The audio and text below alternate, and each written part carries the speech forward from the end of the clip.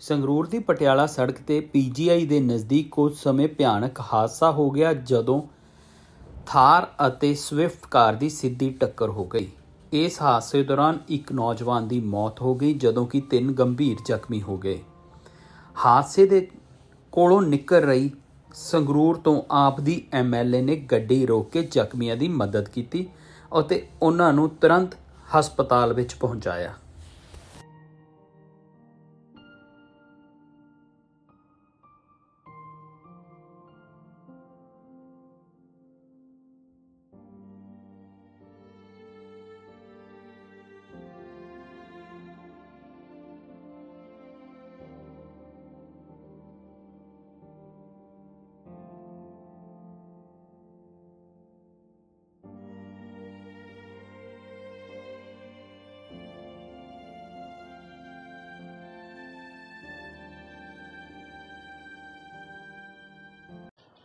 Accident ਜਿਹੜਾ ਜਦੋਂ national highway ਤੇ ਪੀਜੀਆਈ ਘਾਬਦਾਂ ਦੇ ਬਿਲਕੁਲ ਆਪੋਜ਼ਿਟ ਜਿਹੜਾ ਐਕਸੀਡੈਂਟ ਹੋਇਆ ਸੀ ਮੈਂ ਇੱਥੋਂ ਆਪਣੇ ਪਰਿਵਾਰ ਦੇ ਨਾਲ ਉੱਥੋਂ ਲੰਘੀ ਜਾ ਰਹੀ ਸੀ ਪਤਾ ਲੱਗਿਆ।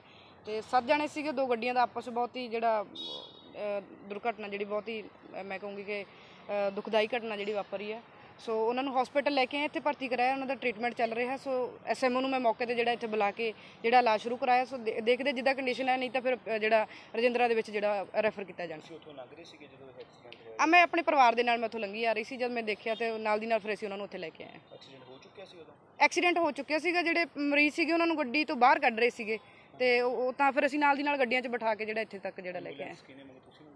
ਹਾਂ ਐਂਬੂਲੈਂਸ ਆ ਗਈ ਸੀ ਉੱਥੇ ਨਾਲ ਹੀ ਕਿਉਂਕਿ ਅਸੀਂ ਐਂਬੂਲੈਂਸ ਦੀ ਵੇਟ ਨਹੀਂ ਕੀਤੀ ਨਾਲ ਦੀ ਨਾਲ ਜਿਹੜੇ ਖੜੇ ਸੀਗੇ ਸੋ ਅਸੀਂ ਆਪਣੀਆਂ ਗੱਡੀਆਂ ਦੇ ਵਿੱਚ ਪਾ ਕੇ ਇੱਥੇ ਲੈ ਆਏ।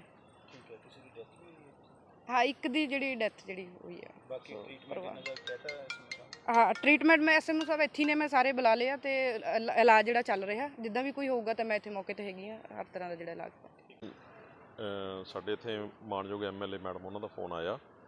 ਵੀ ਘਾਬਦਾਂ ਪੀਜੀ ਦੇ ਸਾਹਮਣੇ ਕੋਈ ਐਕਸੀਡੈਂਟ ਹੋਇਆ ਹੈਗਾ, ਫਟਾਫਟ ਐਂਬੂਲੈਂਸ ਭੇਜੋ। ਅਸੀਂ ਐਂਬੂਲੈਂਸਾਂ ਭੇਜੀਆਂ ਅਤੇ ਮੈਂ ਵੀ ਇੱਥੇ ਆਇਆ ਹੁਣ। ਅਤੇ ਇਹਦੇ ਵਿੱਚ ਚਾਰ ਪੇਸ਼ੈਂਟ ਇੰਜਰਡ ਇੰਜਰਡ ਨੇ ਸਾਡੇ ਕੋਲ, ਜਿਹਦੇ ਵਿੱਚ ਇੱਕ ਬ੍ਰੌਡ ਡੈਡ ਹੈ, ਬਾਕੀ ਤਿੰਨਾਂ ਦਾ ਇਲਾਜ ਚੱਲ ਰਿਹਾ, ਸੀਟੀ ਸਕੈਨ ਵਗੈਰਾ, ਐਕਸਰੇ ਵਗੈਰਾ ਸਾਰੇ ਹੋ ਰਹੇ ਹੈ ਹਾਂ, ਪੇਸ਼ੈਂਟ ਦੀ ਕੰਡੀਸ਼ਨ ਬਾਕੀ ਦੀ ਠੀਕ ਹੈ, ਪਰ ਇੱਕ ਪੇਸ਼ੈਂਟ ਦੀ ਡੈਥ ਹੋ ਗਈ, ਉਹ ਜਿਹੜਾ ਉੱਥੇ ਐਟ ਦੀ ਸਪੌਟ ਹੀ ਹੋ ਗਈ ਸੀ।